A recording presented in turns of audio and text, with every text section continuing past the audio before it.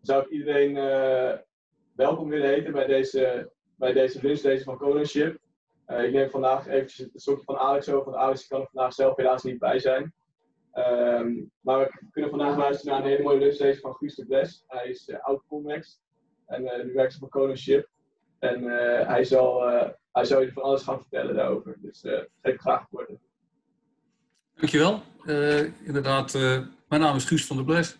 De presentatie die ik wil geven die gaat over hoe we stap voor stap bij Koningschip werken aan stap voor stap te komen tot uh, duurzame scheepvaart en duurzame schepen. En ik zal even beginnen met een korte inleiding, presentatie van mezelf. ik ben op het ogenblik Director Development bij Koningschip International in Groningen. Afgestudeerd als scheepsbouwkundig ontwerper in Delft en ik werk bij Koningschip vanaf 2005. Uh, wellicht interessanter en leuker om te vertellen in dit verband is de, uh, mijn tijd in Delft. In ieder geval, ik vond het heel leuk om daar weer aan te denken gisteren. Uh, ik heb gestudeerd vanaf 1979 tot 86. Toen nog op de, de opleiding die heette scheepsbouwkunde. Eh, ik denk dat ik de laatste afstudeerder van scheepsbouwkunde was voordat het maritieme techniek ging heten.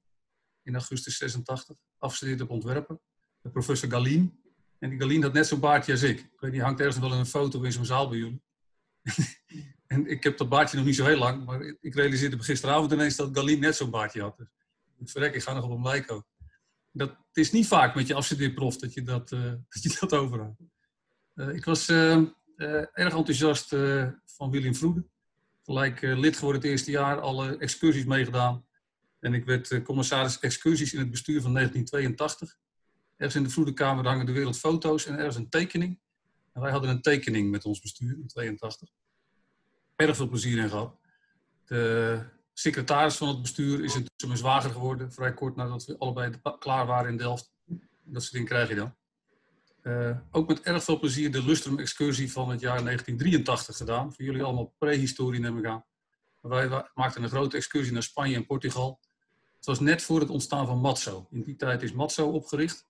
En de, de grote excursie daarna, die gingen naar uh, Japan geloof ik. Echt uh, groot. En um, ik heb altijd veel contact gehouden met Delft. Uh, in alle banen die ik hiervoor gehad heb ook. Veel afstudeerders uit Delft begeleid. En in 2003 uh, eh, ben ik aan de universiteit gaan werken. Eerst twee dagen in de week, later één dag in de week. Dus de periode van 2003 tot 2015 was ik uh, assistant professor in het Engels. Universitair, docent in het Nederlands. Scheepsproductie. En dat vak is volgens mij helemaal vervallen na. Waarin de, de vakgroep van Hans Hopman en in die tijd met Ubald Nienhuis, die was toen eh, professor scheepsproductie. Erg leuk om te doen. Dan door naar de introductie over Koningschip.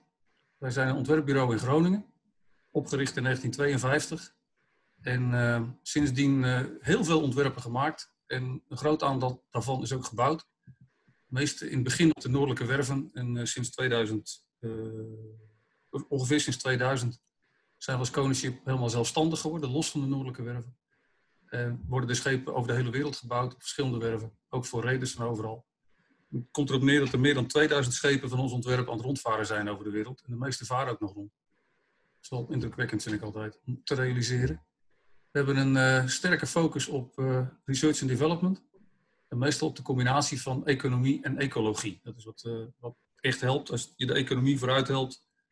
En de economie ook nog. De ecologie ook nog, het groen. Um, Brandstofbesparing en hand in hand met emissiebesparing is altijd een hele simpele en mooie.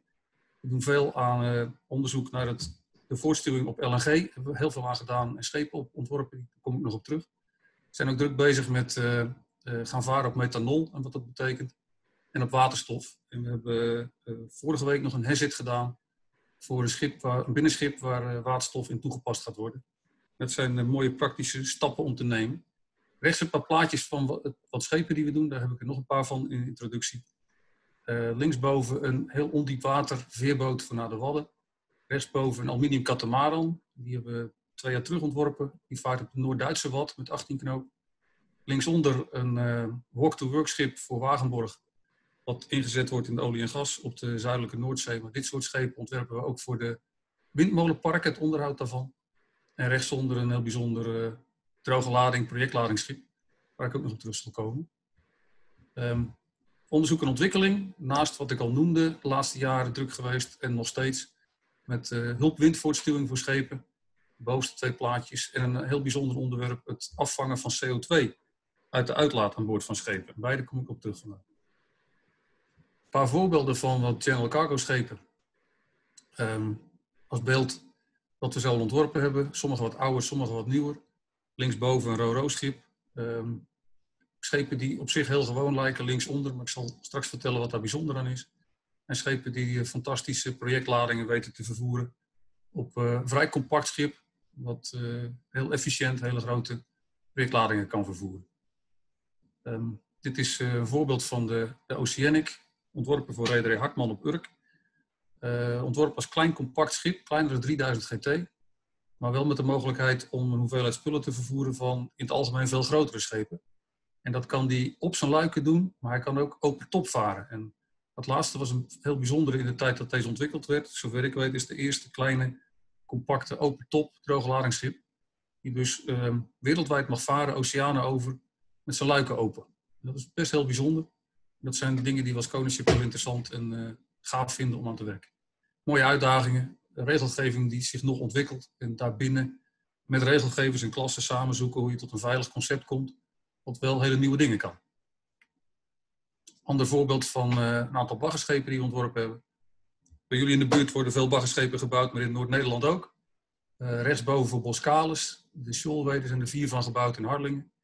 Uh, rechtsonder de Eco Delta, ontworpen, ontworpen door ons, volledig ontworpen en geëngineerd hier. Vaart op LNG en is gebouwd bij Barkmeijer en Niesten Sander samen in uh, Noord-Nederland. Daar kom ik ook nog op terug later in de presentatie. Dit vind ik altijd een mooi plaatje. Dat kleinste scheepje, kijken jullie hem zien, deze dus, de Pioneer Knoetsen, dat is het koningschipontwerp. Dat is precies waar we voor staan.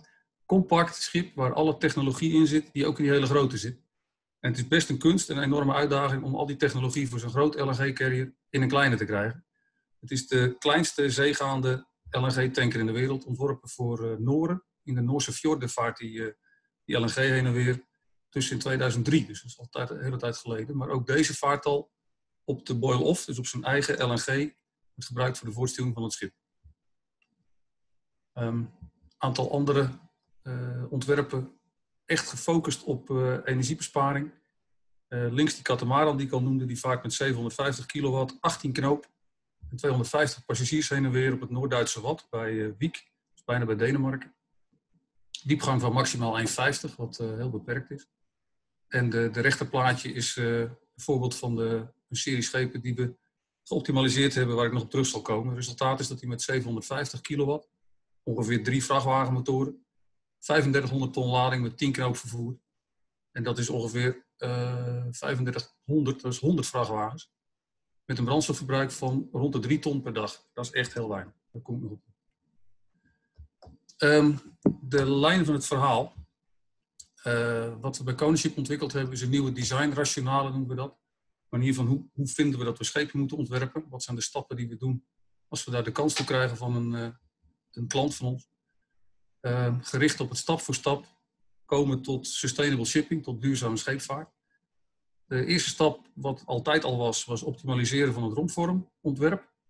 Dus de huldesign rompvormontwerp gericht op de lowest resistance, zo min mogelijk uh, weerstand zien te realiseren. Maar dat altijd in combinatie met het optimaliseren van de grootst mogelijke schroef die erachter past. En daarmee een optimalisatie van het voortstuwingsrendement. En dat wil niet altijd zeggen dat je de laagste weerstand in de romp krijgt. Een uh, integrale optimalisatie van uh, schroef en romp samen helpt het meest. Daar kom ik nog iets op terug. De derde stap is zoeken naar de grootst mogelijke windvoortstuwing die past bij het concept van het schip. Er zijn schepen waar windvoortstuwing helemaal niet op past. Daar zou die alleen maar geweldig in de weg zitten. Maar een groot aantal schepen zou met hulp windvoortstuwing een heel gedeelte van de vrij beschikbare windenergie kunnen gebruiken voor zijn voortstuwing. En als je dat combineert met een elektrische voortstuwing kun je hele aardige, dubbelaardige effecten bereiken. Stap 4 is, uh, waar ik vandaag in ieder geval op in zal gaan, LNG benutten in combinatie met een toekomstige afvang van CO2 uit de uitlaat. Um, dat is een spannend verhaal, denk ik. Leuk om op in te gaan. En de vijfde stap is um, richting zero-emissie. Wat er aan energie nodig is om die schroef mee aan te drijven. Uh, ervoor te zorgen dat zich dat kan ontwikkelen ontwikkelen. We hebben een methodiek voor Adaptive Engine Room Design. De machinekamer die je nu ontwerpt om in de komende tijd efficiënt mee te kunnen varen, zal vaak nog diesel bevatten. Maar in het ontwerp rekening mee houden dat die machinekamer te verbouwen valt, zich aan te passen, zich kan aanpassen aan de brandstoffen van de toekomst en wat er aan uh, energieomzetters voor nodig is. Bijvoorbeeld via biomethanol naar synthetische brandstoffen en uiteindelijk op een of andere wijze waterstof benutten als basis voor de energie voor, aan boord van je schip. Zijn er tot zover vragen? Want dan kan ik daar alvast even op ingaan. Ik zie geen, geen chats, maar jongens die dat in de gaten zouden houden, die geven ook geen seintje. Dan ga ik gewoon even door. Op zich vind ik het jammer dat ik jullie niet zie, want anders dan zou ik het leuk vinden om uh, in contact te zijn en daar wel op vragen in te gaan. Er komen nog een aantal momenten dat ik er zelf bij stil zal staan. En als jullie vragen hebben, in de chat de vragen intypen en die worden bewaakt door de jongens van Vroede die mij een seintje geven als er vragen zijn. Dan kan ik erop ingaan. De eerste stap waar ik op in wil gaan is het ontwerp van de romp. Uh, vaak gericht op uh, snelheidsbeperking. Uh, wat we steeds vaker zien is dat schepen een snelheid moeten kunnen varen van bijvoorbeeld 13 knoop. Maar dat de economische snelheid waarmee het schip het meest zal gaan varen rond de 11 knoop ligt. En waar je vroeger dan alles optimaliseerde naar die contractsnelheid van 13 knoop, doen we dat al een tijd niet meer. En stemmen we in overleg met de reder af wat wijs is. En heel vaak is het wijs om de, de lijnen, de slankheid van de romp te kiezen voor die snelheid van 13 knoop. Maar hem wel te optimaliseren, die lijnen te optimaliseren voor de uh, snelheid op de, de, economische snelheid van rond de 11 knoop. Daarmee krijg je net andere accenten en verbruikt hij bij 11 knoop het minste wat hij maar verbruiken kan. Ik denk dat dat een wijze manier is om ermee om te gaan. Um, dat uitzicht in CFD-berekeningen, uh, uh, waarbij er een groot aantal rompvariaties wordt doorgerekend. Uh, waarbij we verschillende diepgangen analyseren. schepen met ijsklassen komen we nog wel eens tegen. We ontwerpen veel schepen die in de Baltic gaan varen met ijsklassen. nozzels helpen daar. Een combinatie van de nozzel rond de schroef, het achterschip, hoe integreert in elkaar. Er zitten hele interessante aspecten aan waarbij we nogal wat grote voordelen hebben weten te bereiken. Daarbij het brandstofverbruik teruggebracht hebben en daarmee de emissies teruggebracht hebben. Tweede is die, eh, wat ik al noemde, die onderzoek naar de grootst mogelijke diameter. Een aantal jaren geleden hebben we een, een optimalisatie gedaan naar de achterschipvorm voor die Lady Anna-serie, waar die zo meteen nog terug zal komen. Daar zijn dit plaatjes uit. Uh, dat schip heeft een beperkte diepgang en een hoge blokcoëfficiënt. Maar door die um, straalbuis toe te passen en door de straalbuis voor een gedeelte in de romp te verzinken, kun je de grootste schroef toepassen die er maar uh, achter wil. En door daar een integrale optimalisatie te maken waarbij een schroefontwerper was betrokken, beide lijnen bepaalde en de ontwerper van de straalbuis was betrokken, konden we daar echt hele mooie voordelen bereiken. Dat is heel goed om je te realiseren dat het integraal optimaliseren van die zaken goed lukt met de moderne CFD-methodes, eh, waarbij je de RANS-methodes moet gebruiken. En dat levert uh, grote voordelen op. In dit geval voor dit schip, dat een dienstsnelheid heeft van 10 knoop. Um, wat ik vertelde, die 3, 3000 tot 3500 ton lading kan vervoeren met een vermogen wat in de praktijk vaak lager dan 700 kilowatt blijkt te kunnen zijn om die 10 knoop te varen. En daarbij wordt brandstofverbruik van 3 ton per dag gerealiseerd. En dan moet je je uh, dat, dat krijgt pas echt relief als je realiseert dat de meeste van de concurrenten van dit schip dus de 4,5 en de 5 ton brandstof per dag verbruiken. Dat is dus anderhalf keer zoveel. En dat is best heel veel. Um, basisreden daarvoor is dat dit schip helemaal geoptimaliseerd is voor die snelheid van 10 knoop. En de meeste van zijn concurrenten oudere ontwerpers zijn, die ooit geoptimaliseerd zijn voor 12,5 of 13 knoop. Daar ook het vermogen voor hebben staan. Uh, de schroef is ervoor ontwikkeld. En als die 10 knoop gaat varen, die schepen varen bijna allemaal rond de 10 knoop, verbruiken ze minder dan wanneer ze 12 knoop verbruiken, maar nog steeds bijna anderhalf keer zoveel dan dit schip wat er volledig voor geoptimaliseerd is. Uh, de EEDI is 60% van wat die maximaal mag zijn. En ook dat is best een, uh, een heel mooi getal. Uh, kennen jullie de EEDI met de tot tegengekomen studie? Energy Efficiency Design Index? Dan kan ik daar niet in detail op ingaan, maar dan wordt het tijd voor mijn gastcollege, wat ik nog eens heb gegeven en wat nog ergens ligt. Op zich zou dat kunnen om nog eens een gastcollege te verzorgen in, in een of ander ontwerpvak over dit soort dingen. Misschien komt dat nog wel een keer. Datzelfde schip, die Lady Anna, is oorspronkelijk ontworpen als een gesloten schip.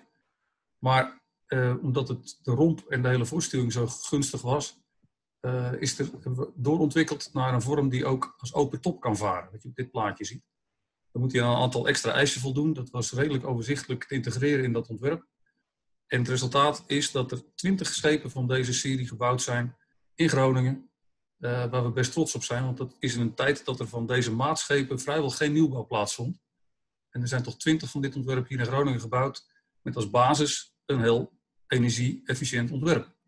En dat vind ik gaaf om te merken dat je als ontwerper zoveel verschil blijkt te kunnen maken als je een goed ontwerp maakt. Uh, nog plaatjes van details van de, de nozzel achterin.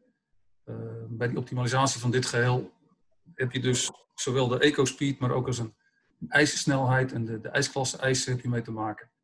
Uh, er is trouwens uh, inmiddels een vraag binnen in de chat. Ik kijk, heel goed uit, want ik was volgens mij net toe aan... Oh nee, dat komt zo meteen. Doe maar. Er is een vraag in de chat van Joep, die vraagt... hoe blijven jullie competitief, terwijl jullie de mode, modulariteit van de schepen behouden? Modulariteit van de schepen, weet ik niet helemaal wat hij daarmee bedoelt modulaire machinekamers kom ik straks nog op terug. Uh, hoe wij competitief bleven en blijven. Uh, heel algemeen door steeds bezig te zijn met innoveren. Steeds bezig te zijn met zowel uh, innovaties die voor het schip en voor de reder, voor de operatie van het schip, het verschil maakt. Als met innovaties in onze tools om dus te kunnen doen. Deze CFD, dit soort CFD-sommen waarbij de stroomlijnen eh, rond het achterschip goed gerepresenteerd ziet, zijn nog niet zo heel oud. Uh, we ontwikkelen dat niet zelf, maar we doen wel in, in samenwerking met het Marin bijvoorbeeld. En zelfs ook met Van Osane. Uh, heel nauw meevolgen wat de ontwikkelingen zijn op CFD-gebied. Wat er intussen betrouwbaar toegepast kan worden. En wij, wij vinden het onze taak om dat zo gauw mogelijk toe te passen in ontwerp van schepen die gebouwd gaan worden. En daar dus de voordelen van slimme nieuwe tools omzetten in echte schepen die gebouwd gaan worden. Dat is wat we prachtig doen. En we hebben nog een vraag binnengekregen. Als het goed is, kan Huug die zelf stellen, want hij is geunmute. Uh, ja, ben ik te horen? Jazeker. Ja, mooi. Ik vroeg me af bij het schip wat een paar slides geleden terugkwam. Uh, werd een grote reductie in brandstofverbruik uh, gerealiseerd. En ik was benieuwd wie daar meestal van profiteert. Of dat de reder is, degene die voor het schip betaalt, of dat dat voor, meestal voor een klant valt. Dat is een, eh, een, hele goede vraag. Dat is ontzettend belangrijk om je dat zo vroeg mogelijk te realiseren. Um, ik heb een hele tijd gedacht dat de reder degene was die er belang bij had om heel weinig brandstof te verbruiken. En het blijkt dat dat helemaal afhangt van hoe het schip ingezet wordt. Zelfs in deze serie van 20 schepen zijn er een aantal schepen waarvoor de reder de brandstof betaalt. Dus daar is de reder zelf erg blij met het lage brandstofverbruik. En een heel aantal andere schepen die heeft hij vercharterd. Dus die vaart dan langdurig wordt dat schip gecharterd door een charteraar. En die charteraar heeft dan de lading en die huurt dat schip dus in en die, die vaart die lading ermee heen en weer. In dat geval betaalt die charteraar de brandstof. Dus is de charteraar degene die het voordeel heeft van het lage verbruik. En het blijkt even te duren voordat doordringt in een markt dat een schip echt zo'n laag verbruik heeft. Dus dat charteraars zeggen van ik wil best een schip huren, maar dan wil ik er wel een van dat type. Die heeft dan door dat hij daarmee minder brandstof verbruikt. Maar dat duurt soms akelig lang. Dus dan heb je een, een schip ontworpen met een mooi laag brandstofverbruik. Een reder verchartert dat schip voor de prijs die hij altijd al deed. Merkt niet dat hij daar, uh, merkt te weinig terug van het, het, het, gunstige verbruik van dat schip. Dat duurt, duurt een langere tijd voordat het doordringt bij die, in die chartermarkt. Een hele goede vraag.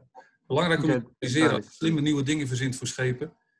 Uh, tegen wie je aanpraat en hoe het schip wordt ingezet. Dus of de reder zelf het belang heeft of dat zijn klant het belang heeft uiteindelijk hebben we als, als mensheid het belang dat er minder brandstof wordt verbruikt en er minder CO2 wordt uitgestoten. En dat ligt vaak veel te ver weg voor economische keuze. Precies, ja. Oké, okay, dank u wel. Oké, ga ik even verder. Kijk, ik was hier, um, ja, het resultaat van een, naast dat eerste onderzoek wat ik liet zien voor een, schip van uh, 85 meter en 3000 ton, hebben we met het Marin en een aantal andere partijen samen een Europees onderzoekstraject gedaan waarin we een veel groter schip, 220 meter, uh, lang 23 meter breed, 30.000 eh, ton. Voor eh, de Noord-Atlantic ontworpen. een studie gedaan naar de effecten van een large diameter propeller, noemen we dat. Dus een hele grote schroef. Waarbij je links de conventionele schroef ziet van 5,70 meter uit mijn hoofd. En rechts een schroef van 7 meter, waarbij de vrijslag tussen schroef en romp links conventioneel is.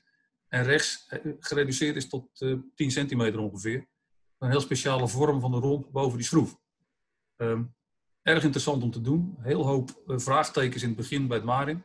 Het drive kwam bij ons vandaan, vanuit onze eerdere ervaring dat kleine schip. Hoe groot de voordelen wel niet kunnen zijn als je wel een veel grotere schroef durft toe te passen. En durft te rekenen aan een vrijslag die heel klein is.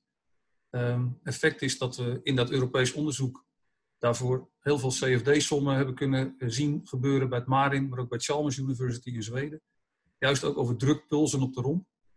Uh, ontwerpen gemaakt door het Marin voor de schroef, maar ook door Rolls-Royce, die uh, in, die tijd meedeed in het onderzoek. Allerlei modeltesten gedaan, veel modeltesten, zowel in ballast als op volle diepgang, in vlak water en in golven. En allemaal verschillende situaties, maar over het geheel 15% besparing met die hele grote schroef ten opzichte van een goed ontworpen conventionele schroef. En 15% besparing is echt heel veel. Marin uh, heeft proeven twee keer, drie keer overnieuw gedaan en bleef maar uh, hierop uitkomen. Dus het blijkt echt mogelijk te zijn met een hele grote schroef die veel lager belast wordt, grote voordelen te halen. Hangt dat mee van het, het voorbeeldschip af, want voor veel grotere voorbeeldschepen werden de verschillen kleiner. Maar het is wel een, uh, een, relevant om mee te nemen. Als je kans ziet een schroef groter achter een ontwerp te krijgen, dan kan het uit om allerlei ingewikkelde trucken uit te halen om die vrijslag te beperken ten opzichte van het, uh, uh, je voorstellingsrendement. Ik heb, een, uh, ik heb zelf een vraag. Ja. In onbeladen conditie is, is er dan niet, komt dan de schroef niet veel eerder uit het water en moet je misschien dan het schip naar achter vertrimmen om te zorgen dat hij onder water blijft? Dat is precies inderdaad een hele goede vraag en ook een hele logische. Dat is ook wat mee onderzocht is. Dit schip heeft dus inderdaad een bijzonder soort ballastdiepgang en een bijzondere ballastdiepgang achter. En wij hebben het ontwerp van het schip verder uitgewerkt. En het is in het ontwerp van het, het hele algemeen plan, ontwerp van het schip, goed te integreren om zo'n diepgang achter te geven dat die voldoende onder water blijft. En een deel van de truc van die achterschipvorm is ook dat hij het water beter vasthoudt.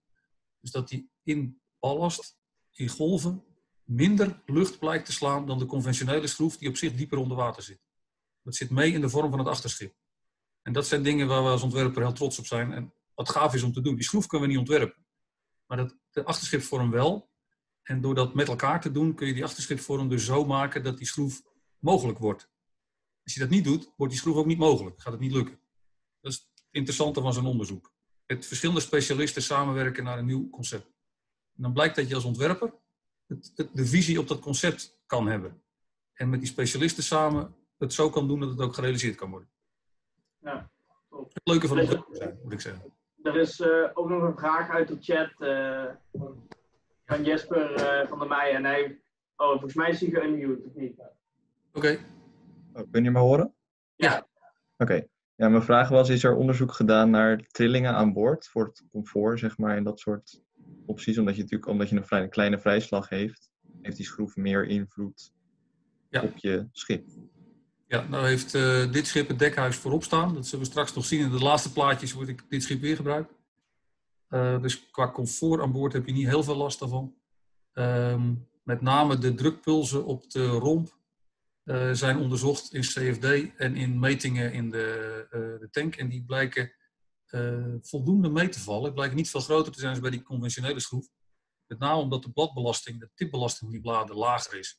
Als die schroef zo groot is, is een bladbelasting laag blijkt de tipbelasting laag, blijken die drukpulsen mee te vallen. Het is zeker een punt van aandacht en van uh, in dit onderzoek heftig meegenomen. Inderdaad, de, de trillingen uh, die dat veroorzaakt, die, uh, die zijn belangrijk. Oké, okay, bedankt. Niet klaar hiermee, het is ook nog niet toegepast. Maar het is wel heel interessant om zo'n Europees onderzoek te kunnen doen en aan te kunnen tonen wat bereikbaar kan zijn als je zo'n grote schroef toepast. En als je dat ziet, die 15% vermogensreductie, dan vinden andere partijen het ineens wel heel waardevol om diep door te gaan op onderzoek naar trillingen en hoe we de constructie eh, dusdanig kunnen maken dat we die trillingen kunnen handelen. Natuurlijk kunnen we dat, als we dat willen. Dus dat, dat regelen we ook. Dat loopt nog. Oké, okay, bedankt. Ga ik verder met uh, de hulp windvoortstuwing als stap 3. Um, basisidee is, die wind is op zee uh, beschikbaar. Gebruik het dan ook. En probeer de grootste hulpwindvoorstuwers te gebruiken die je schip niet verstoren. Die de operatie van je schip niet verstoren. En dat is best een kunst. Helemaal als je het op bestaande schepen wil toepassen, want dan heb je een schip waar je vanuit hebt te gaan. Uh, dan zoek je de, een compacte windvoortstuwer. Um, dat hebben we, die hebben we gevonden. Daar komen we zo op terug. Uh, retrofit is als het op bestaande schepen toegepast wordt, maar we zijn ook bezig met nieuwe ontwerpen waar je ze van het begin kan integreren. En juist ook die hulpwindvoortstuwing integreren in je voortstuwingssysteem, als je dat uh, elektrisch doet, biedt dat nog weer extra mogelijkheden. Uh, ontwikkeling daarvan was dat in 1985 Jacques Cousteau, Franse filmmaker, die films over oceanen maakte, uh, in die tijd, 1980, 1985, het, het uh, suction wing principe heeft ontwikkeld met een aantal Franse wetenschappers. Ik kwam dat tegen in Delft op de TU. In uh, 2009 kwamen we tegen studies hierover. Interessant, weer interessant. ik ben een zeiler, dus ik had altijd al belangstelling voor de hulpwindvoortstuwing, hoe die ook op vrachtschepen toegepast zou kunnen worden. Ik merkte dat dit een hele compacte manier is, onderzocht. Uh, Cousteau heeft in die tijd een schip gebouwd. Het plaatje wat je hier ziet is de Alcyone. Is daar de oceaan mee overgezeild, is er uh, rondom Amerika's gezeild. En hadden daar hele goede resultaten mee in de publicaties uit die tijd. Ergens in 1985 uh, klapte de olieprijs naar beneden. En in die tijd ging het echt alleen maar om de economie van het geheel. Voor, voor iedereen ongeveer. Dus toen is de ontwikkeling daarvan afgebroken. Wel patent opgevraagd. Nou, wat ik al zei, 2009 kwam ik dat tegen. Patent uit 1985 verloopt 25 jaar later, dus het verliep in 2010. Dat was de aanleiding voor ons om het op te pakken en ermee verder te gaan. En uh, als Koningschip, samen met een aantal, verschillende aantal afstudeerders van de TU, echt meerdere afstudeerders zijn in de loop der jaren hierop bezig geweest, hebben we de, de, de, de, van Cousteau uh, onderzocht of die, hoe die werkt, wat de werking er precies van is, hoe die geoptimaliseerd kan worden meerdere CFD-analyses gedaan, in dit geval door Anton Kistjes bij het Marin. Hij werkt ook met Marin ondertussen uh, in de windvoorstuwing, dus hij is daar blijven hangen. Heeft uh, de turbocel van Cousteau onderzocht op zijn werking. Grofweg is het de werking van de turbocel hier weergegeven in het midden. Um, het is een verticaal vleugelprofiel, wat je hier zien kan. Een kort, dik vleugelprofiel met een ventilator van binnen. De wind komt uit deze hoek komt er langs. Er zit een flap aan de kant van de wind. Dus aan de drukzijde, aan de windzijde zit een flap en de wind wordt aan die kant dus afgebogen door die flap. De zuigzijde is spannender. De zuigzijde is de kunst om de wind um, bij het profiel te houden. Dat wordt gedaan door in een baan met gaatjes, dus een verticale baan met kleine gaatjes. De ventilator van binnen staat te zuigen. Dus de ventilator zuigt de grenslaag die gaatjes in. Op die manier krijg je grenslaag, afzuiging en een versnelling van de grenslaag aan de lijzijde van het profiel. Snellere lucht, lagere druk. Het geheel zorgt ervoor dat de lijzijde van de wind keurig het profiel volgt en achter het profiel aansluit met de drukzijde. En doordat hij dat profiel zo netjes volgt, krijg je daar een enorme liftkracht van. Juist een zuigkracht eigenlijk. Bij een vliegtuig zou het een liftkracht heten. In dit geval is het gewoon een voortstuwende kracht. Als de wind uit de handigste hoek komt. En anders uh, heeft deze kracht een component in de voortstuwingsrichting en in de hellingsrichting.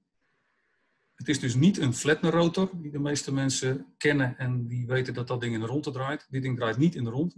Hij richt zich in een optimale hoek naar de wind. En vervolgens werkt hij als een vleugelprofiel of als een zeil eigenlijk, maar dan als een star zeil. En zet wind direct om in stuwkracht. Um, wij zijn de, het idee wat wij kregen was, die ventifoils zijn of die, die die zijn we ventifoil gaan noemen, want het woord was beschermd. En ze zijn zo compact dat je ze in een container zou kunnen vatten. Dus we hebben de Econo Wind Unit ontwikkeld en bedacht, waar dan twee ventifoils ingevouwen kunnen worden en uitgevouwen kunnen worden. En dat ziet er dan zo uit. Basisidee, uh, vrachtschip van zeg maar 100 meter, twee van die 40 voet containers voor op de luiken. Uh, bij gunstige wind aan een gunstige hoek vouw je de ventifoils uit, zet ze rechtop. Uh, ventilatoren aan, wind waait er langs en de ventifoils creëren een kracht, een stuwkracht. de stuwkracht die die ventifoils realiseren, doen dat schip eerst versnellen. Je hoeft niet sneller te varen, dus je kunt je gas op je motor terugnemen. En op die manier kun je de stuwkracht van de wind reduceren op de stuwkracht die je schroef aan het leveren was en daarmee brandstof besparen. Een idee te krijgen hoeveel dat is, hebben we aan het rechterplaatje laten zien. Als het gewone zeilen zouden zijn, dan zou je per unit, dus per economie unit, 165 vierkante meter zeil ongeveer hetzelfde effect geven. En 165 vierkante meter zeil is ongeveer het, het oppervlak van een scootje. Voor de zeilers onder jullie die uh, in Friesland het scootjeszeilen wel eens gezien hebben. Dat is ongeveer zo'n groot tuig. Dus twee van die scootjeszeilen voor op een schip. Um, dat doet wel wat. Het is ook bedoeld als hulpwindvoorstuwing, niet om het schip in zijn geheel voor te stuwen. Maar het doet wel wat in de, de verbanden daarbij. En dat zijn we gaan onderzoeken. Dus het idee is, je, het is volledig autonoom. Er staat een 40 voet container op je schip. Als je bij de uiterton bent, dan zeg je van, uh, ga je best maar doen. Hij meet zelf of de wind uit een beetje gunstige hoek inkomt. Als de wind recht van voren komt, blijft hij dicht. De wind uit een gunstige hoek komt, vouwt hij de ventivols open, richt de ventivols naar de wind. Zet de ventilator aan op een snelheid die overeenkomt met de windsnelheid die hij meet. En hij creëert voortstuwing. Dus dat is het basisidee van de Economie Unit. Heeft wat jaar ontwikkeling gekocht, gekost, maar eh, in 2016 hebben we vanuit Koningschip met een uh, werktuigbouwer uit Delft Econowind BV opgericht. En Econowind BV is de, de Econowind Unit gaan bouwen en de Ventivolts gaan bouwen. Dat is niet iets voor ons als Koningschip als ontwerpbureau. Maar samen werken we, uh, we werken samen in het, het toepassen van die Econowind Unit op een schip. 2018 is de eerste de maiden voyage geweest, dus de testreis van de prototype Economy Unit. Gedurende die reis werden de eerste uh, besparingen tot 8% van de, de brandstof die het schip verbruikte al gemeten. En dat was de eerste reis. Daarna zijn we aan het optimaliseren gegaan. Uh, voorspellingen uit 2018 liepen tot tussen de 40 en 80.000 euro per jaar voor twee van die Econowind units. Wat resulteert in een, uh, een, terug, een terugverdienperiode van tussen de 6 en de 8 jaar in die tijd getallen zijn wat anders geworden. Uh, hangt mede natuurlijk sterk af van de hoogte van brandstof, brandstofniveau. Ja, er is een, een, vraag in de chat. Ik zou even kijken. Zou Casper Anna kunnen unmuten zodat ze die vraag kon stellen? Hoi, ja, um, ik vroeg me af, want u had het over dat er um, behalve een voortstuwend component ook nog een hellend component komt kijken bij de foils of um, de fancy foils. Maar moet je dat dan nog compenseren in hoe je je schip belaat? Of is er een ander alternatief voor om te zorgen dat je niet, zeg maar, ontslaat? Nou, dat hangt, uh, hangt dus sterk van het schip af en van de, de, de toepassing en de beladingen. Um, zeg maar, schepen die zeer stabiliteitskritisch zijn, zullen er echt rekening mee moeten houden. Maar bij de meeste beladingen van het soort schepen waar je nu het plaatje van ziet, in de, deze verhouding, ik zal even iets verder nog doorgaan. 2019 zijn we met die, de, de separate begonnen. Uh, met als effect dat je dit soort plaatjes krijgt. Waarbij uh, een 16 meter ventifoil op een, uh, een coaster van 90 meter staat. Weer ongeveer zo'n 3000 of 3500 tons coaster. Deze 2 keer 16 meter ventifoils die geven in de situatie waarbij ze... Ze worden gebruikt tot windkracht 7. Dus boven windkracht 7 uh, gaat de ventilator af en worden de ventivols naar beneden gedraaid. Op deze manier. Dus op die manier zijn situaties waarbij het helpmoment te groot wordt heel goed te voorkomen. En als die, bij deze schepen is de maximale hellingshoek vol in gebruik. Extra hellingshoek is een graad op 3. Dus de 3 en de 5 graden hangt een beetje van het schip, de belading van het schip af. Dus dat valt erg mee. als je grotere hoeveelheden hulpwind voor stuwers toe gaat passen, dan is het steeds meer zaak daar meer rekening mee te houden in het ontwerp. Sommige van deze uh, kapitein-eigenaars die ermee varen, die zeggen van ik, red, ik, red, me wel. Ik kan met een brandstoftrimpomp, uh, trim ik de brandstof wel naar de, de, de, hoge kant, zeg maar. En dan compenseer ik de, de helling een beetje. Anderen zien dat als een groot probleem. dit moet zich allemaal nog, nog, nog settelen in, in het echt. voor ieder, ieder nadeel heeft zijn voordeel en voor ieder nadeel is ook wel een, een oplossing te vinden. Maar er zullen altijd gevallen zijn waarbij het niet goed past. Dus dat blijft zo. Blijft opletten. Integreren dan. Maar um, in dit geval is het, het, het principeplaatje van zo zeil je ermee en zo kan je ermee, als het bij tegenwind of bij storm liggen, zo op je dek. Bij het laden en het lossen heb je er natuurlijk zo last van. Kunnen ze rechtop, maar ze kunnen ook voorover kantelen. Dus bij dit schip worden ze voorover gekanteld. Bij laden en lossen en dan heb je je hele laadruim vrij om te kunnen, uh, open te kunnen leggen en je lading te kunnen, eruit te kunnen halen zonder dat je last hebt van die ventivols. Dat zijn belangrijke aspecten van hulpwind voor stuwers op de meeste schepen. Een heel groot aantal gevallen zouden ze anders het uh, laden en los in de weg zitten. Um, 2020, januari dit jaar, is de Anki gaan varen met uh, deze twee ventivols erop. Dit zijn de onderste delen van 10 meter van de ventivols die later dit jaar nog, begin volgend jaar, verlengd worden tot 16 meter. Um, Eerst gevaren met die 2 keer 10 meter erop. Schipvaart tussen de 10 en de 11 knoop snelheid. En bij 5 Beaufort met de 16 meters erop zal die tot 20% uh, minder brandstof verbruiken voor diezelfde snelheid om de snelheid van 10 knoop te kunnen blijven varen. Um, dat is best indrukwekkend, maar het is niet altijd 5 boven. Dus bij meer wind gaat hij dus meer besparen. Maar gemiddeld verwacht een besparing tussen de 6 en de 8 procent in het vaargebied waar die rondvaart. Dus op de, de, de Oostzee, waar het iets minder waait, en de Noordzee, waar door het jaar heen een uh, relatief gunstige hoeveelheid wind staat. Um, het is een goed begin en het is goed om je te realiseren dat dus met hulpwindvoorstuwing op een bestaand schip dit soort percentages, besparing op brandstof, maar dus ook op CO2-uitstoot, al mogelijk zijn. Um, Zie uh, nog een paar vragen in de chat verschijnen. Als het goed is, ja. kan je nog uh, nu uh, zijn vraag stellen. Ja, uh, yes, horen jullie mij? Ja. ja. Top. Ja, ik vroeg me af, in, in die renders of foto's, dan zie je altijd dat er maar één zo'n container uh, op dek wordt gezet. Maar uh, zou je dat op kunnen schalen? Dat je er meer achter elkaar zet? Ja, je zou uh, zeker meer containers achter elkaar kunnen zetten, maar het blijkt um, efficiënter te zijn om grotere ventifols erin te zetten. Als deze ventifols 16 meter zijn, die je nu ziet, dit zijn 2 keer 10 meter, maar die worden dus in dit geval, zo gaat het er ongeveer uitzien in verhouding 16 meter. Eén zo'n ventivol van 16 meter doet net zoveel als die twee ventivols van 10 meter in de container. Dus deze twee ventivols van 16 meter doen net zoveel als twee containers. En een grotere ventivol, die, die is in ontwikkeling op het ogenblik, 20 meter hoog, koordlengte van 3 meter, die doet nog weer meer vermogen. En dan, dan krijg je per geïnvesteerde euro steeds meer uh, windvoortstuwing. En dat is wat zich nu aan het ontwikkelen is. Maar je kunt zeker meerdere van die uh, containers, op een containerschip bijvoorbeeld, zou je heel goed met meerdere containers kunnen varen. En op uh, andere schepen, daar kom ik aan het eind nog op terug, wat concepten met meerdere ventivols. Die zal ik, daar kom ik nog op. Ja, dan is er, er zijn nog twee vragen zelfs. Dat is ook een vraag van Mo. Ik weet niet of die, die haakt hier een beetje op, op in. Ik weet niet of ze haar een vraag nu kan stellen. Ja, um, ik vroeg me af of de wind dan ook anders zal stromen langs de um, Ventivoice als er meerdere op een schip zitten. Ja, zeker. Goeie vraag. En inderdaad ook een zeilster zeker, of niet? Ja. ja inderdaad. En dat heeft na, kan nadelen en voordelen hebben, afhankelijk van waar de wind vandaan komt. Uh, dit schip vaart nu rond met twee Ventivoice, daar kunnen we iets aan meten, maar het is nog wat weinig. Uh, we hebben concepten waarbij we er veel meer op hebben, daar kom ik straks nog op. Daar hebben we nog niet aan kunnen meten en nog niet aan gerekend, maar we weten zeker dat er veel effect van de verschillende Ventivoice op elkaar zal zijn. En dat, uh, dat zou bijvoorbeeld nog een vervolg afstudeerproject kunnen zijn.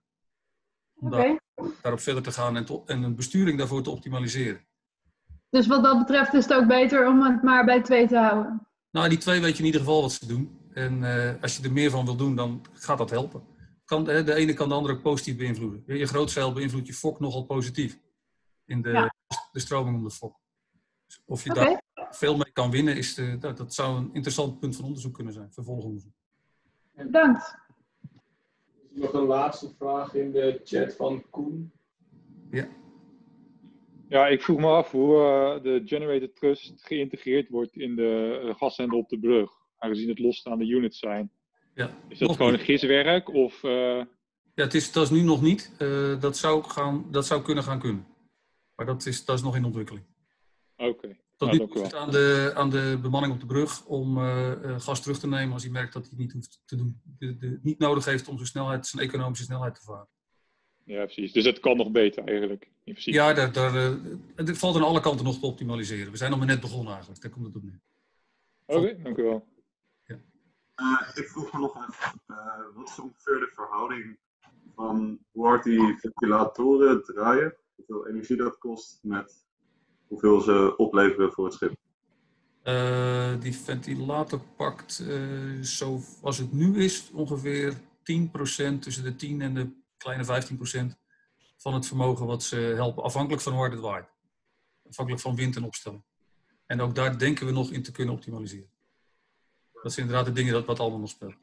Ik wil even verder, anders haal ik het eind echt helemaal niet. Ik zal wat moeten versnellen en wat minder vragen tussendoor doen. Um, met die windvoortstuwing uh, doen we dus goede dingen voor het klimaat. Ik weet niet of jullie dit herkennen, de Sustainable Development Goals van de Verenigde Naties. De Verenigde Naties hebben 20 uh, Sustainable Development Goals. En in scheepsbouw kom ik ze heel weinig tegen, maar daarbuiten kom je ze veel tegen.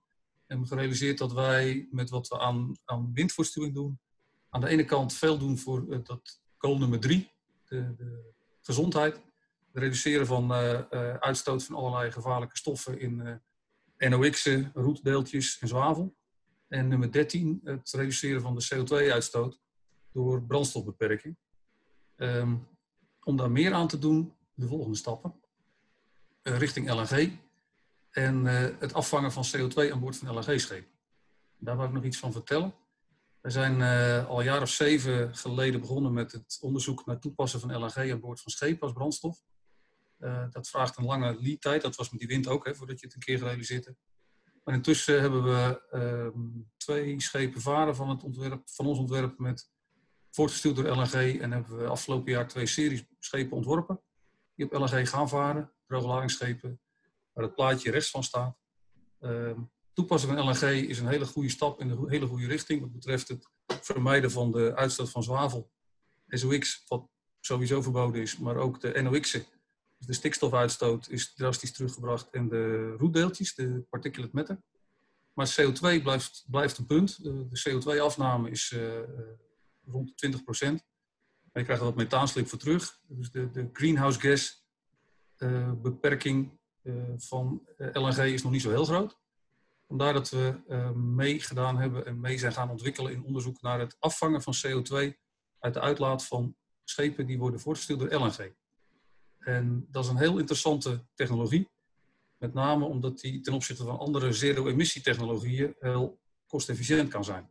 Op waterstof gaan varen kost nogal wat. Um, 2018 hebben we een uh, ontwerp, of eigenlijk tot tussen 2016 en 2018 gewerkt aan ontwerp en engineering van een, uh, een. Uh, voortgestuurd op LNG. Vaart in de haven van Rotterdam, de EcoDelta. Doet zijn werk, onderhoudswerk in de haven van Rotterdam. LNG-installatie, uh, volledig ontwikkeld.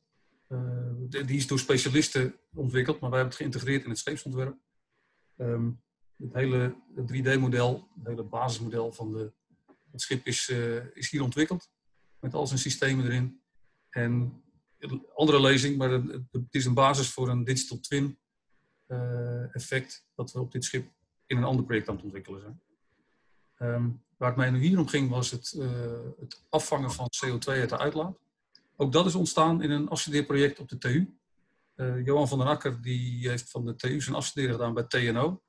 Maar met een voorbeeldontwerp van ons om het in te integreren. En met TNO samen, um, daarna zijn we, toen hij bij ons is komen werken, een onderzoek gestart met TNO. En de partijen die hierin vermeld staan, in deze slide.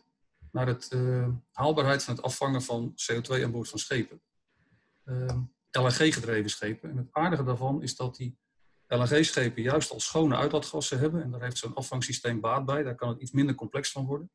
Als die andere stoffen erin zitten, dan moet dat afvangsysteem nog complexer worden. Uh, het is een uh, technologie die op land al jaren wordt toegepast. Niet heel grootschalig, niet heel, heel veel, maar wel al jarenlang. En de haalbaarheidsstudie in dit geval was vooral uh, wat zou er gebeuren als je het aan boord van een schip plaatst. Wat, hoeveel last heb je van gewicht, afmetingen? Wat, hoe kan je daarmee omgaan? Dynamica van het schip. En het aardigste daarvan, wat ik in ieder geval heel aardig vind, is het opslaan van CO2 aan boord. CO2 vang je af, dan is het gasvormig. De truc is dat je het vloeibaar kan maken door de kou die je aan boord hebt in die LNG-tank. Je hebt LNG aan boord van min 163 graden. Die kun je gebruiken om je CO2, je gasvormig CO2, af te koelen tot min 20. En dan bij min 20 graden Celsius en 20 bar is CO2 vloeibaar. En vloeibaar is het op te slaan in reguliere CO2-tankcontainers. Dan heb je nog een heel verhaal. Dan is het dus één grote optimalisatie van je warmtebalansen. In alle gevallen. Maar dat is een studie die in dit geval speelde en wat werkt.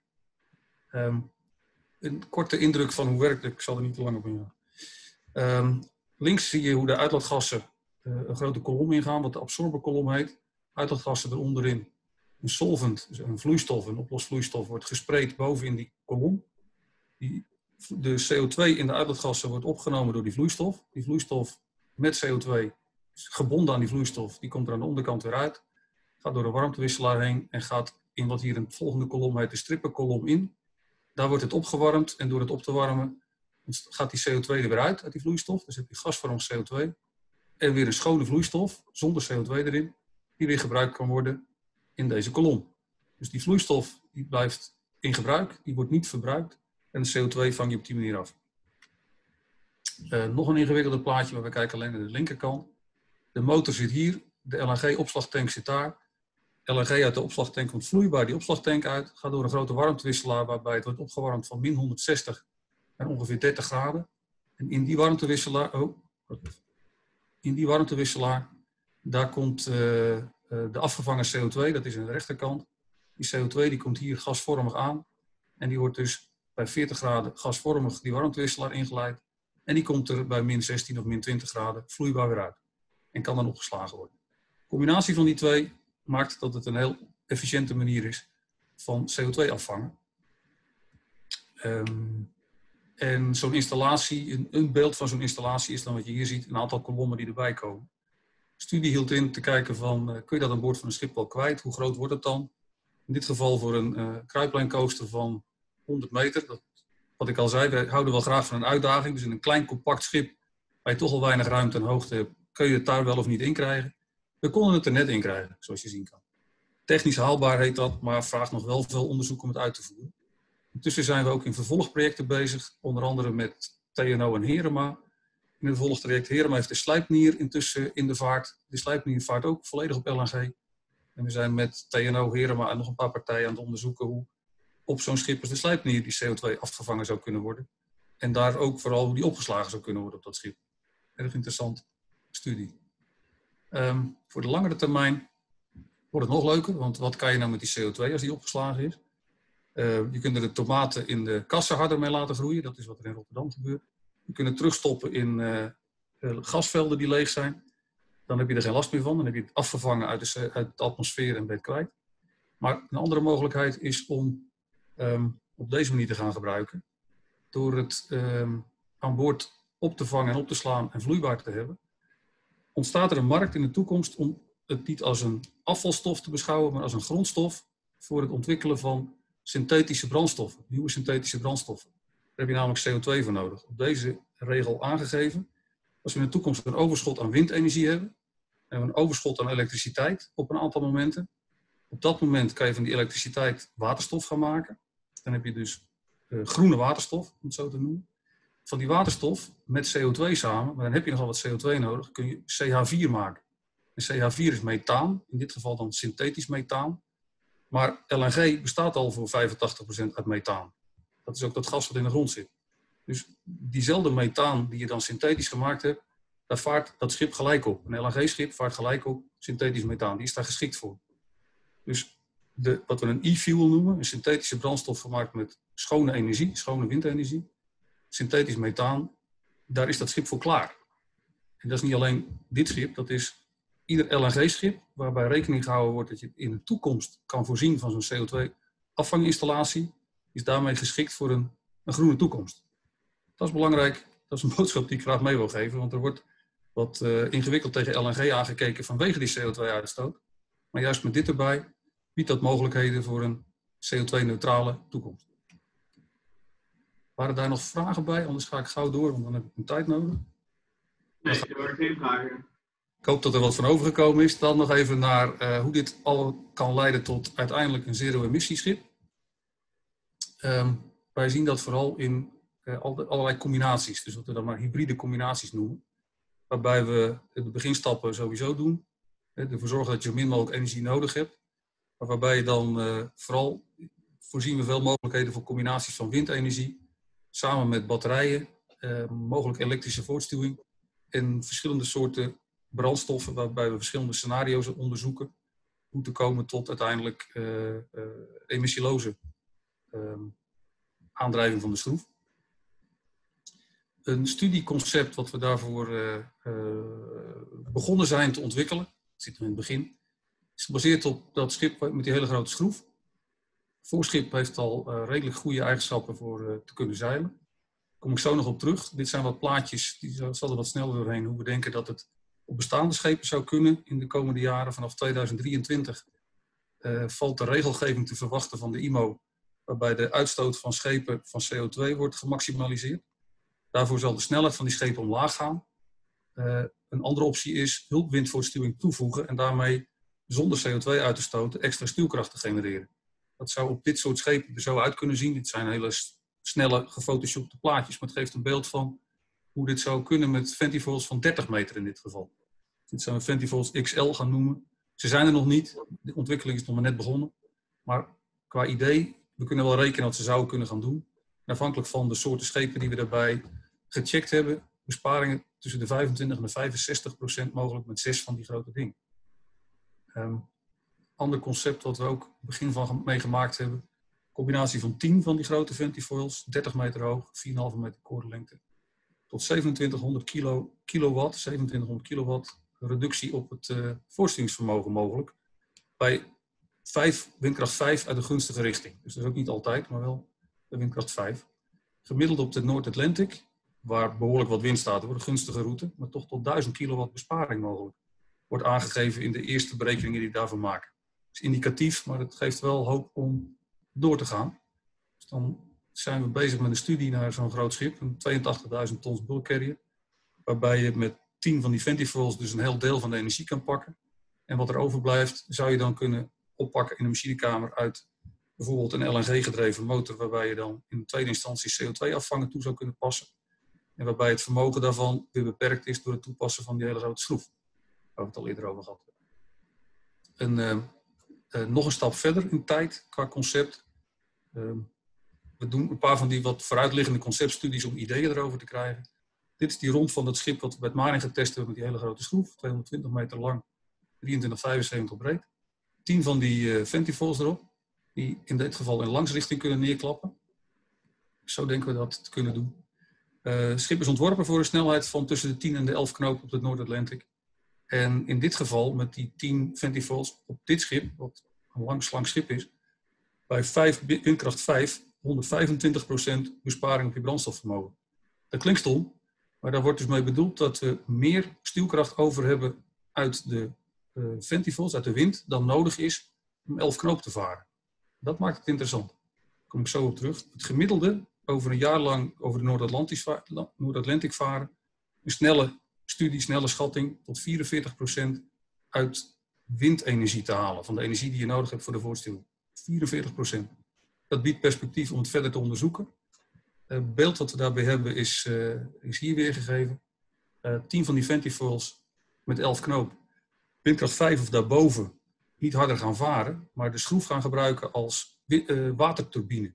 Dus het langstromende water langs de schroef gebruiken om de schroef mee aan te drijven schroef drijft de elektromotor aan, die wordt dan een generator. En die generator laat batterijen op. Dus boven 5 Beaufort worden batterijen opgeladen met energie die uit wind komt. Onder 5 Beaufort wordt die energie uit die batterijen gebruikt om die elektromotor mee aan te drijven. Die 2500 kilowatt elektromotor die die grote schroef aandrijft. Als er geen wind is of te lang weinig wind is, dan een brandstofcel erin, ook van 2500 kilowatt.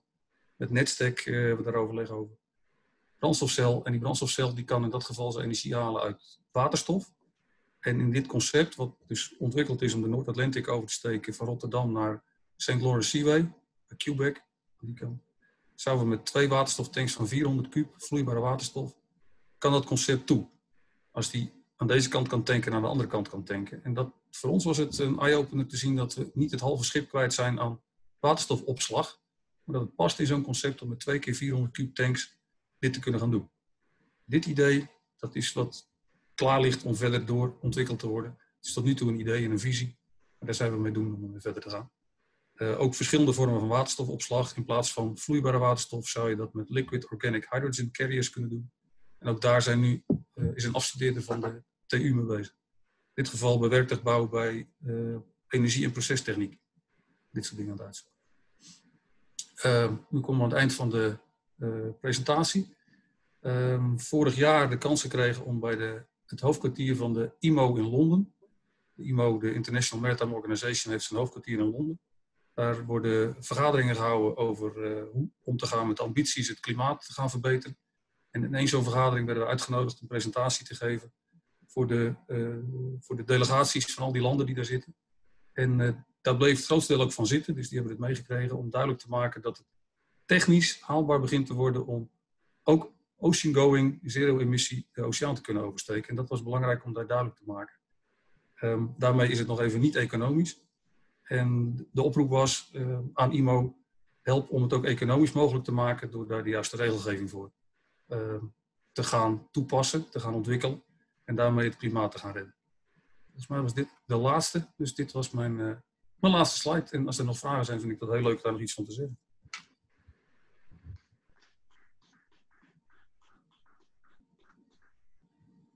Bedankt, eh, bedankt voor deze, deze hele interessante lunchlezing.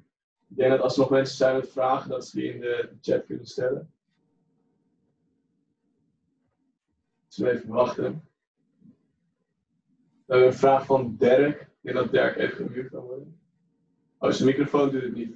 Eh, Dirk vraagt wat de lifecycle is van een Fenty. Ja, dat weten we nog niet, want zo lang hebben ze nog niet. Maar ze zouden, ze zouden eh, op zich is het, het zijn aluminium, eh, eh, aluminium vleugelprofielen. Ehm, eh, ik heb begrepen dat er Boeing 747 rondvliegen die al tientallen jaren aan het vliegen zijn met datzelfde aluminium, wat wel heel goed onderzocht wordt iedere keer. Op zich is er niks in de weg om die Ventivols eh 20 of 30 jaar te kunnen gebruiken. Er zal wel het nodige aan, eh, aan update in elektronica en ventilator gedaan moeten worden onderweg, maar dat, dat hebben we nog niet strak in beeld. Een goede vraag. En dan heb ik zelf ook nog wel een vraag. Eh, mocht de IMO dit eh, economisch ook aantrekkelijk vinden, op wat voor termijn denkt u dat het haalbaar is om de 24 daadwerkelijk te gaan toepassen? Eh, zeg maar, de Ventivols worden dus toegepast. De, de van 16 meter, eh 10 meter die varen rond. 16 meter varen eh, voor het eind van dit jaar of begin van het nieuwe jaar rond. Eh 20 meter Ventifoils zijn eh, in aanbouw, in, eh, in ontwikkeling, zeg maar. Ehm, de 30 meter Ventifoils duurt nog even. Ik had hierboven opgezet eh, na 2024. Maar dat geldt eigenlijk voor het hele concept. Als je zegt, we willen op waterstof gaan varen met zulke grote batterijbanken, dan vraagt dat nog wel een paar jaar ontwikkeling. Maar op zich is de technologie allemaal beschikbaar. Het is alleen de, de schaal en het toepassen in schepen is wat er nog eh, ontwikkeld moet gaan worden. En laten we zeggen, dat is niet heel simpel hoor. Je komt allemaal eh, flauwe, vervelende details tegen. En die moeten allemaal opgelost zijn voor het echte. Maar het is wel mogelijk. Oké. En dan zie ik nog een vraag van Mo. Als het goed is, Mo benieuwd. Ja, ehm, mocht je hierin willen afstuderen, is het dan slimmer om een master maritieme techniek te doen of een aerodynamica master bij het lucht- en ruimtevaart? Eh, een voorganger van jullie is eh, bij maritieme techniek afgestudeerd eh, bij Econowind BV, begeleid door ons van Koningschip eh, bij het Marin. En is na zijn master maritieme techniek de master vliegtuigbouw gaan doen. Dat heet eh, lucht- en ruimtevaart natuurlijk. En is daar nu aan het afstuderen. Dat is het aller, eh, de allerinteressantste basis. Maar ik zou denken dat je... het hangt een beetje vanaf waar je zelf op verder wil. Ehm, ik vind zelf het, de maritieme techniekkant het interessantste. Het integreren van eh, windvoorstuwing in je hele ontwerp van je schip. Ehm, en dan hoef je niet heel diep in de aerodynamica te zitten. Dan heb je redelijk wat meegekregen. Als je hydro gedaan hebt, heb je nog veel meer meegekregen als ik. Aan, eh, hebben jullie die vakken nog? Aero 1 en Aero 2 en zo? Ik weet dat in mijn tijd, maar heftig ingewikkelde eh stromingsleervakken. Ik denk dat je daar genoeg in meekrijgt. Maar op zich kan beide, maar hangt een beetje af van eh, hoe gespecialiseerd je bezig zou willen. Oké, bedankt. Wij zoeken afstudeerders van, we hebben interesse, zo moet ik zeggen, interesse in afstudeerders van maritiem. Maar ook van werktuigbouw in de energiekant, proces- en energiekant. Elektrotechniek zien we een grote eh, toekomst voor het afstemmen van alle elektrosystemen en regelsystemen op elkaar. Er was straks een vraag van iemand die zei of je die stand van die ventifoils en de, de aandrijving van je hoofdmotor niet kan integreren. Ja, dat kan. Er kan nog veel meer en daar, zit, daar we ook een hele toekomst in. Die is ook interessant. En de aerodynamica is zeker ook interessant. Dus het is, eh, we hebben een hele boeiende tijd voor ons. Oké, bedankt. Ik zie dat het eh, bijna kwart voor twee is, dus ik denk dat we deze lunchlezing even kunnen afsluiten. Dan misschien dat er later, eh, na de afsluiting, misschien nog wel tijd voor eh, vragen is, omdat de mensen naar college moeten, terug college kunnen. En de afsluiting van een eh, lunchlezing is bij ons een, een kleine traditie. We hebben, zoals hier in het midden al staat, het koffertje. Het is een bijzonder koffertje. Die gaat mee naar bedrijven die veel voor ons betekenen. Ja. Eh, zoals je kunt zien, er staan al heel wat stickers op. Dit koffertje is al, al vrij oud. Eh, Hij is niet- wij hadden nog een oude koffertje. Ja, dat klopt. We hebben een, een nieuw koffertje gekregen op eh, 12 september 1992. Op de grote reis naar Indonesië, Singapore en China. Ja. En eh, het is een, een heel speciaal koffertje. Want in dit koffertje zit. In dit koffertje zit namelijk een masker. Die de Oh ja. Ware geesten uit ons, eh, uit ons verenigingsdrankje halen. Uit een fles Oorland.